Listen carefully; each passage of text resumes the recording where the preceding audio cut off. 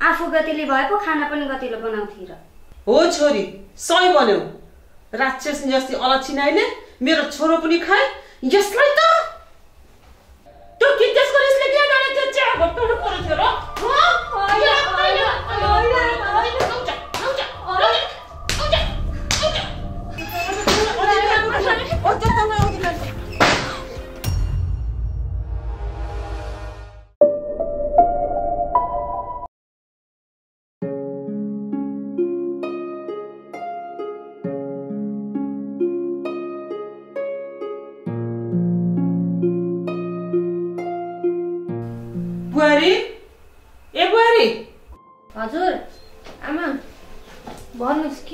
भएको?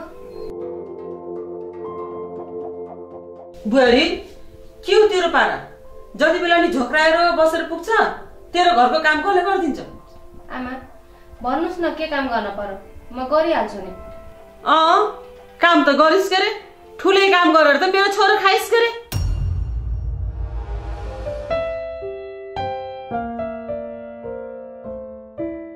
के नाटक पारेछस्?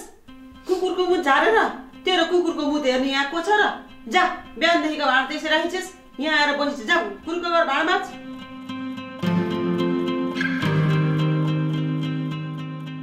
होइन अलक्षी नै यो पर्सिदेखि त एक दिन घर आएर राम्रो भयो।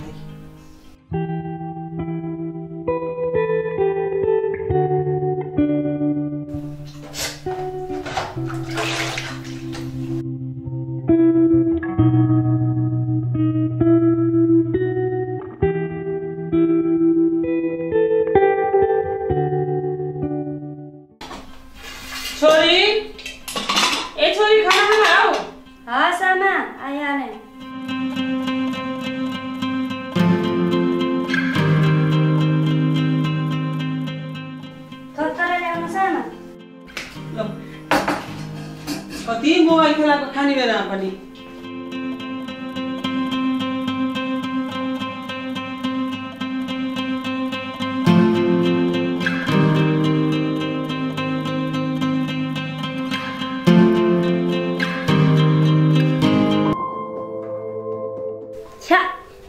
कसले पकाएको आमै खाना कति नमिठो।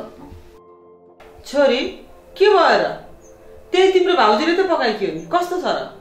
कस्तो हुनु नि? आफू जस्तै नमिठो पकाएकी रहेछ। आफू गतिले भए पो खाना पनि गतिलो बनाउँथे र। हो छोरी सही भन्यौ।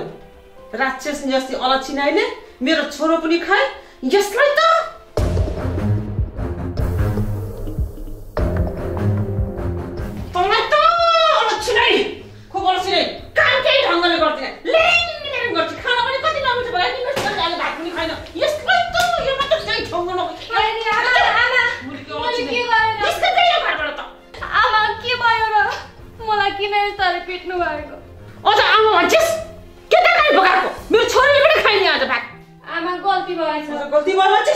अबदेखि यो गल्ती मैले दोहोऱ्याउने छैन। अब एउटा केही ढङ्ग छैन।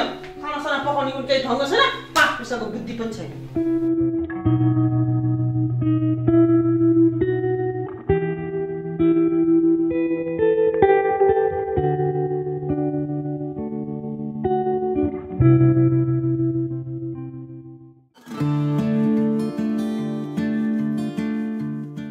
आमा हेर्नुहोस् है यो भाउजू बनाउँदैला त यो घरमा एकछिन पनि बस्न दिनुहुन्न अब यसलाई जसरी भए पनि निकालिदिनु पर्छ। हो छोरी ठिक भन्यौ। यसलाई त हाम्रो घरबाट निकाल्न पर्छ। यसलाई त कहिले राम्रो व्यवहार गर्नुहुन्न नत्र यो त यहीँ बसिरहेको छ ल आमा चिन्ता नलिनुहोस्। जे गर्नुपर्छ यो छोरीले गर्छ। यसलाई त जसरी पनि यो घरबाट निकाल्नै पर्छ।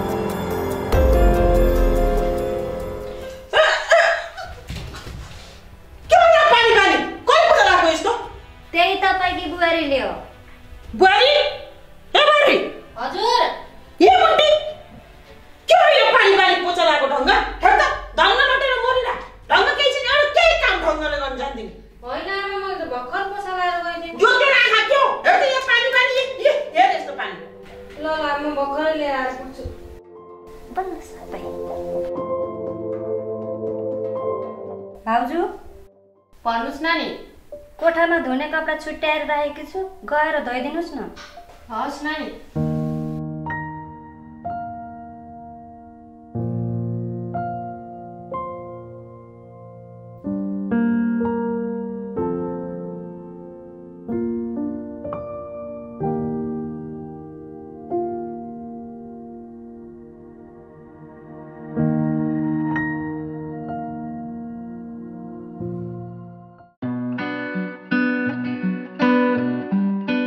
भाउजू कपडा धोएर ल्याउनु भयो। औ भ्याए नानी त्यसो भए मलाई एक कप चिया पकाइदिनुहोस् न। साह्रै टाउको दुख्या हवस् नानी म पकाएर ल्याइहालेँ।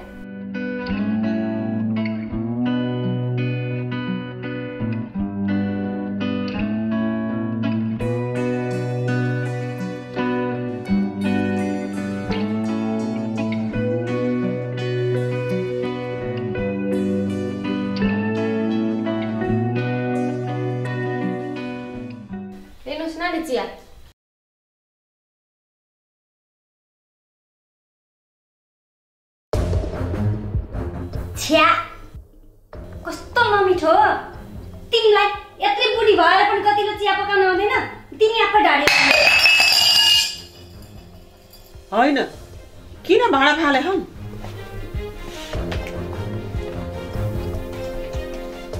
हँ? के को डन्डा गयो यो किन गिलास फालेको?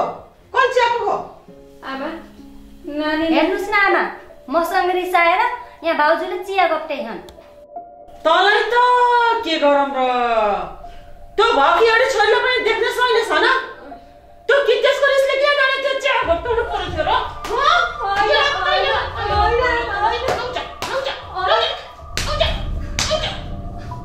त्यत्रै अल्छी नै गरी गर्न पनि गर्दा गर्दा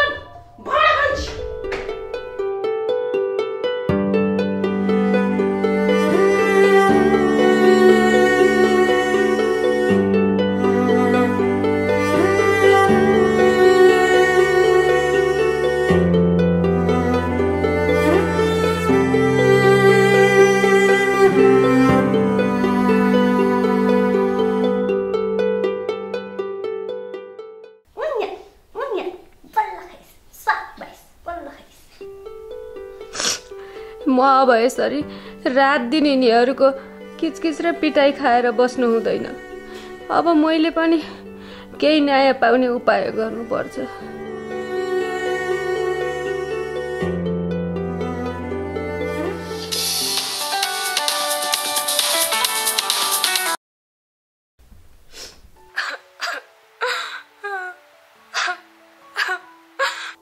के हो भाउजू? किन रुनु भएको बाबु हेर्नुहोस् यहाँ तपाईँको दाईको एक्सिडेन्ट भएदेखि यहाँ तपाईँको आमा र बहिनीले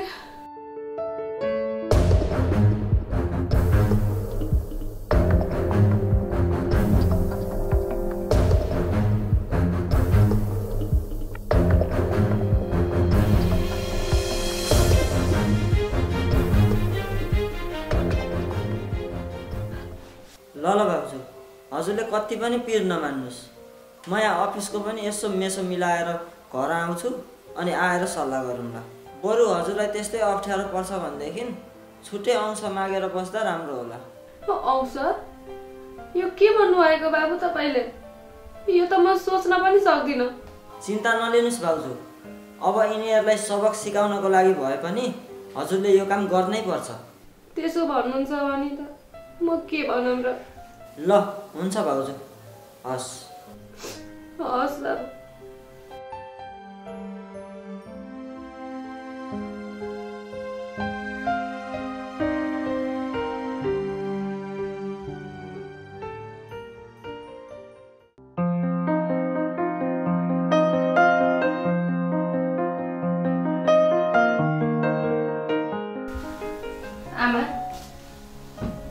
हजुरसित एउटा सल्लाह गर्न चाहन्छु। के अरे? के सल्लाह हो नि? आमा मैले गर्दा यो घरमा झन् झन् दिनदिनै कलह बढ्दै गएको छ सबैलाई दुःख भएको छ। म अब छुट्टै बस्छु। मेरो भागमा जति पर्छ त्यति मलाई औँस काटेर दिनुहोस्। के रे के रे? के को अंश हो? तँलाई लाज लाग्दैन अंश माग्न। अर्काको छोरो खाएर अंश लियो रे। आमा उहाँ एक्सिडेन्ट भएर बित्नु भएको हो। त्यति बेला म सँगै त गएकी थिइनँ नि। तपाईँले किन जहिले पनि उहाँ मरेको आरोप म माथि लगाउनुहुन्छ? ए तँलाई अलक्षिणाले होला त मेरो छोरो मरेको हो नि। अन्त तँलाई अंश पाउनेस अंश अंश पाउनेस ल। अझ अंश औँस। पाउने अधिकार मेरो पनि छ। अझ ए तँलाई अधिकार? तँलाई अधिकार? अझ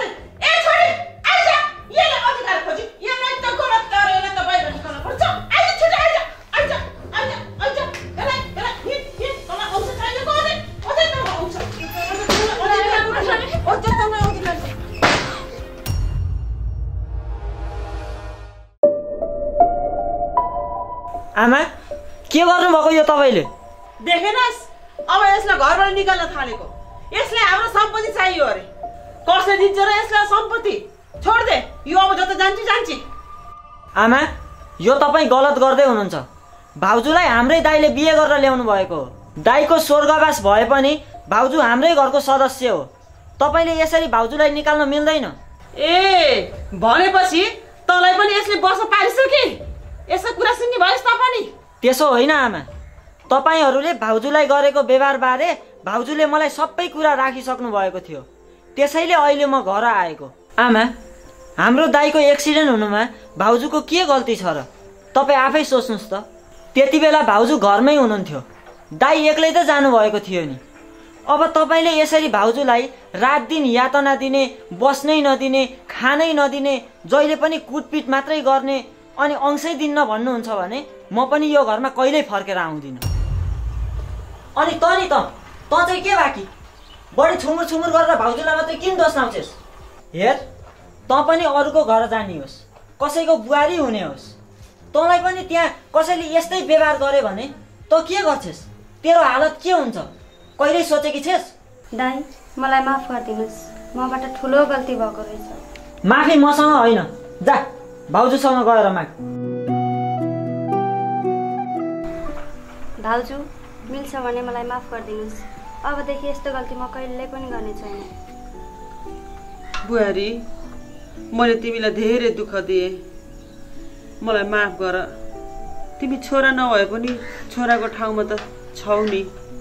अबदेखि तिमीलाई मैले आफ्नो छोरी जस्तै गरेर राख्छु।